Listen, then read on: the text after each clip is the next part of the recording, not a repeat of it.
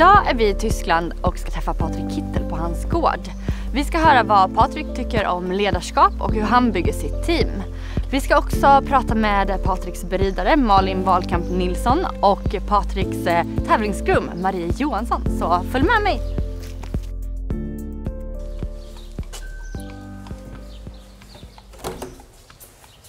Hallå!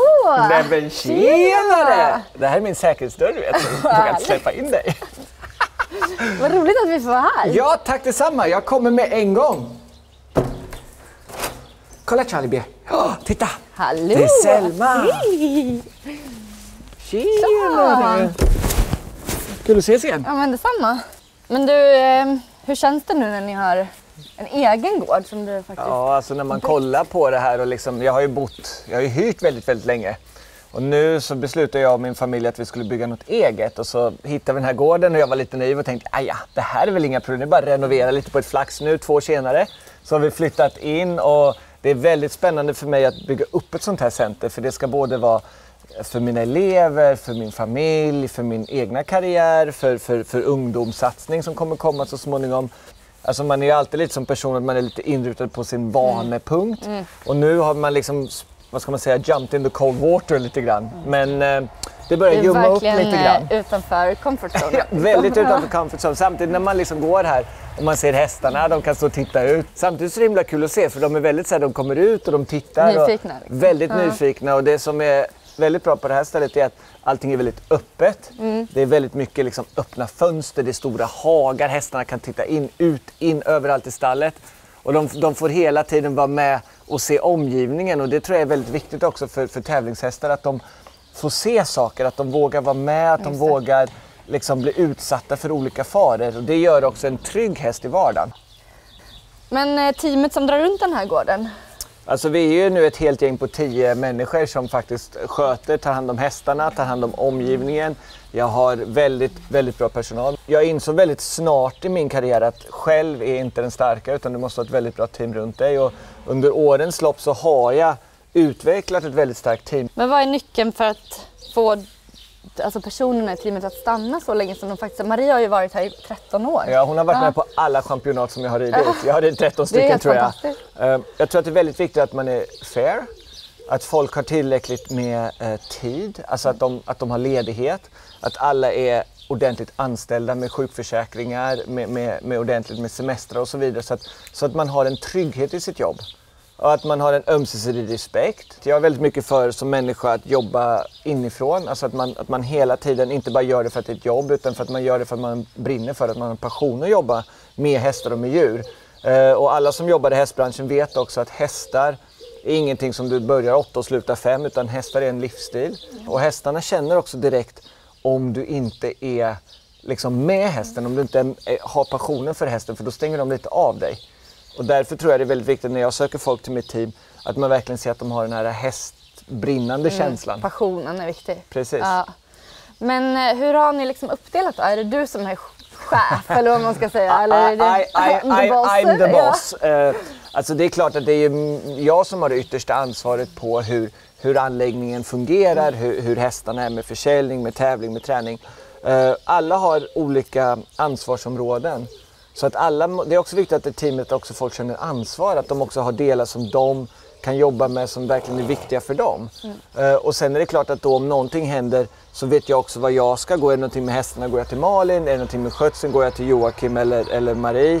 Uh, och hela tiden så har alla olika områden där de jobbar med.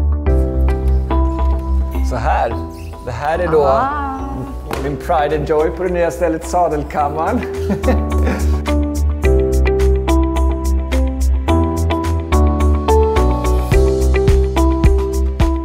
det, är väldigt kul och det är lite så som, som eh, man säger, liksom ett, ett projekt som man jobbat väldigt länge med.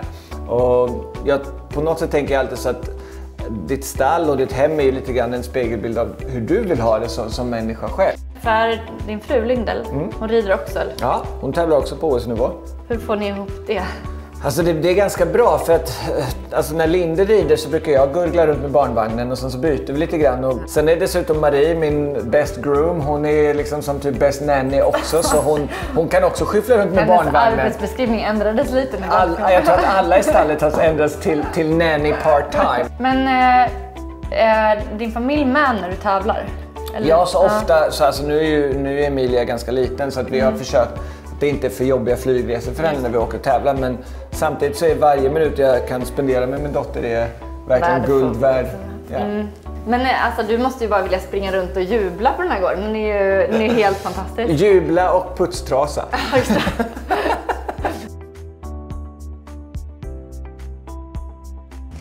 Men du, för 13 år sedan så träffade du en fux.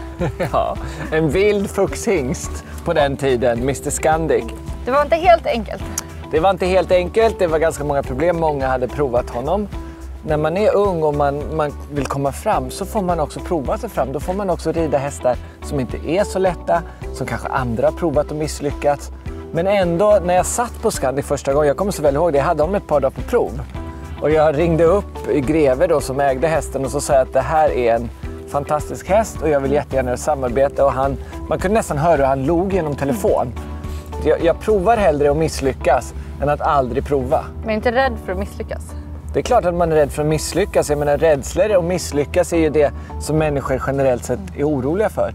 Samtidigt så misslyckas jag hellre, ramlar av och skrattar och reser mig och blir ännu bättre än att aldrig ha gjort någonting alls. För då kommer jag ju aldrig komma fram. Mm.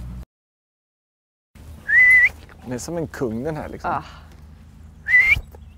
Kom! Aj! Hej grabben! Hej! Hej! Oh, börjar bli gråhårig nu. Ja, verkligen. När han kom till mig så tog vi chansen ihop. Och det måste jag säga, han är nog den svåraste hästen jag har ridit någonsin. Men han är också den hästen som aldrig någonsin har let me down eller vad man ska mm. säga. Utan han har alltid kämpat för mig som ryttare och alltid försökt att hjälpa till. Mm. Och jag tror att det är hans roligaste egenskap han har en sån jäkla stark karaktär.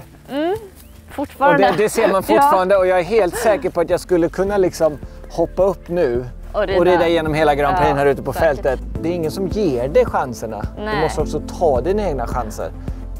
Men just det här liksom, ungdomar ibland, de, de ser liksom bara en stor lastbil och ja. hästskötare och, och jag tror att det är lite grann den glamoursidan. Men jag, menar, jag jobbar hårdare idag. Jag jobbar mer timmar, jag är mer liksom iväg än vad jag gjorde när jag började. Jag brukar alltid säga till ungdomar liksom att gå den där extra milen. Våga visa att du är annorlunda. Våga visa att, det, att du gör det bättre än de andra. Att du är den som jobbar mer än de andra. Ja. Och då en dag så får du en häst som Scandic eller en annan häst och så blir du världsbäst. Ja.